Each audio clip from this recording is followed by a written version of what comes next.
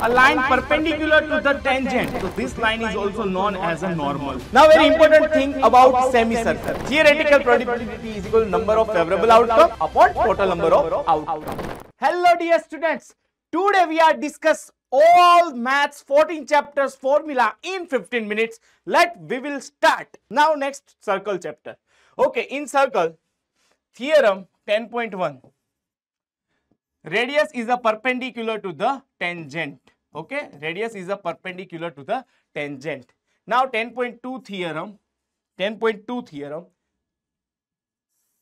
Sorry. Hmm.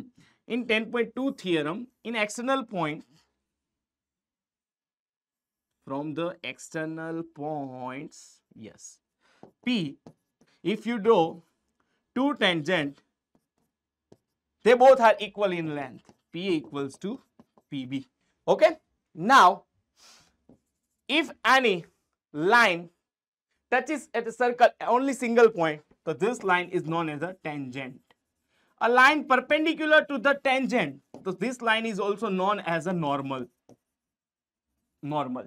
Okay. Now, this line is intersecting two points. So, this line is known as a secant. Chord is a line segment only. Chord is a line segment. Okay. Now, uh, if any inside point, so no any tangent, number of tangent is 0. If any point on the circle, lying on the circle, number of tangent is 1. If a point outside external point, so you can draw maximum two tangents. In circle total, how many maximum tangent we can draw? Write down in the comment section. Write down in the comment section. In circle, total how many number of maximum number of tangent we can draw. Okay. I am not uh, asked about parallel tangents. No. Total how many maximum number of tangent we can draw. Okay. Now next chapter. Areas related to circle. See. In areas related to circle, see. This is your circle center to the any point on the circle known as a radius r what is the area of the circle? It's a simple pi r square. What is the circumference of the circle? It's a 2 pi r. Now, what about this sector? Sector which make here angle as a theta. Okay. And now this blue part is known as your minor sector and remaining part known as your which is a major sector. So, what is the area of this minor sector? Theta by 360 degree into area of circle pi r square. And now length of arc is equals to theta by 360 into 2 pi r. So 2 cancel. So it's a pi r theta by 180. Also we can say. Remember this carefully. And now perimeter of the sector. This radius plus this radius plus pi r theta by 180. It's a length of arc. Getting or not? Yes. Now for the minor segment. Minor segment how can you find? With the help of, you have to first find out minor sector area minus triangle OAB area. So you can find out this blue part region of minor segment. Getting? Yes or no? Yes. Now very important thing about semicircle. The area of semicircle is a, just a half of the circle. But in case of perimeter is not just the half of the circle. It's not pi r. No, you are wrong. It's a pi r plus 2r plus 2r. So be careful in exam. Take r as a common. So your answer for the perimeter of the semicircle is r in bracket 2 plus pi. Remember this formula carefully, dear students. Now chapter 12, surface area and volume. It's a very easy and interesting. Okay, for the cube, volume of the cube, side the volume of the cube is just side cube. Take a side as a a only okay? Now next one is the curved surface area. Is a you have to neglect top and bottom so 4 into side square okay?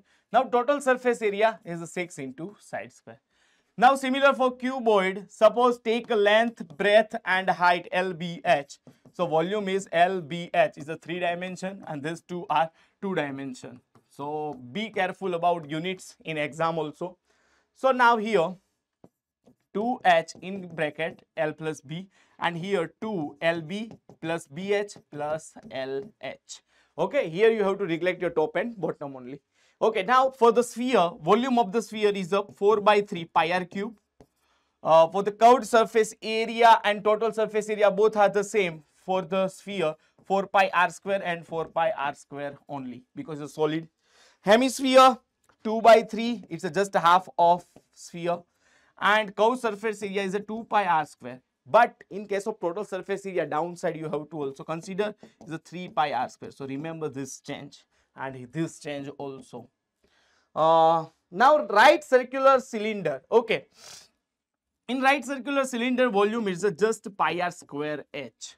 Now what is the 2 pi r h? And if your top and bottom side fill closed so you can also write down 2 pi rh plus 2 pi r square. Now this one is a very important.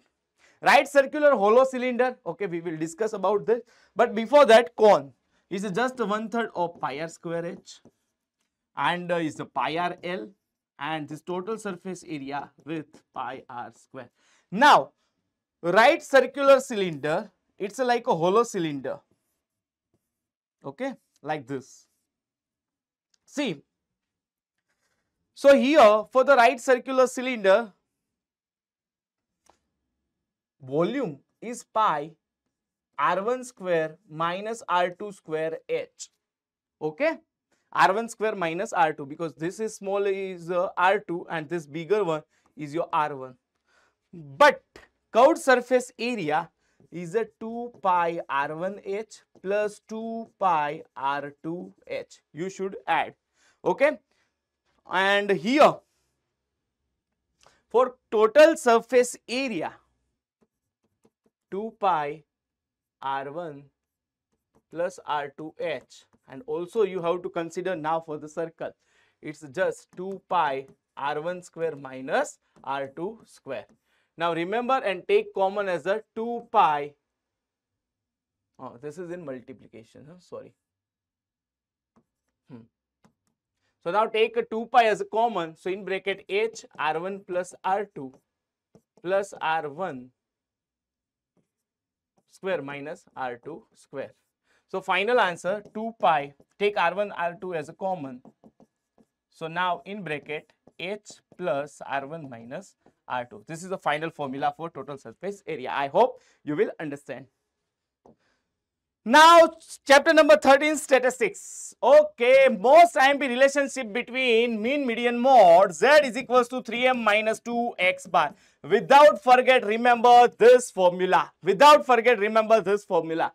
Now, mean equals to x bar. By the help of direct method, x bar is equal to sigma fi xi upon sigma fi xi upon sigma fi and assumed mean method x bar is equals to assumed mean your a is equals to sigma fi di upon sigma fi where di equals to what? Di is equals to xi minus a.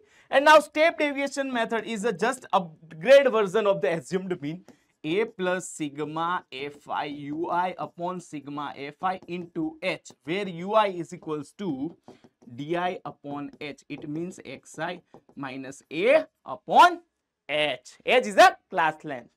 Okay, now what about mode? Mode z is equals to lower limit of your model class L f1 minus f0. f1 is the frequency of your model class, f0 is the preceding frequency of the model class and the f in denominator 2f1 minus f0 minus f2. f2 is the succeeding frequency of your model class. F2 into H. Okay, remember this. Remember this. This simplify, then multiply, and then add. Okay, just a moment. Z. Okay, and last but not least, median M is equals to L plus n by 2 minus CF upon F into H where L is the lower limit of your median class, N by 2 total number of frequency divided by 2. CF is your cumulative frequency of the preceding median class, okay?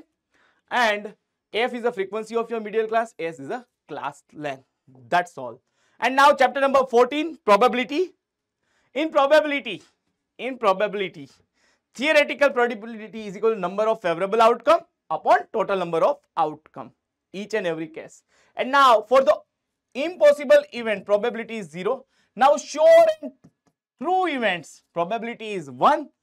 P of E, event and that complementary event, probability always sum equals to 1 and your probability of any event is 0 less than or equals to the probability of any events is less than or equals to sorry 0 greater than oh 0 less than or equals to probability any event which is also less than or equals to 1 it means your probability of any event is equals to 0 and more than 0 equals to 1 but less than 1 that's all. So dear students this all about your formula. Okay? I hope you are getting very well.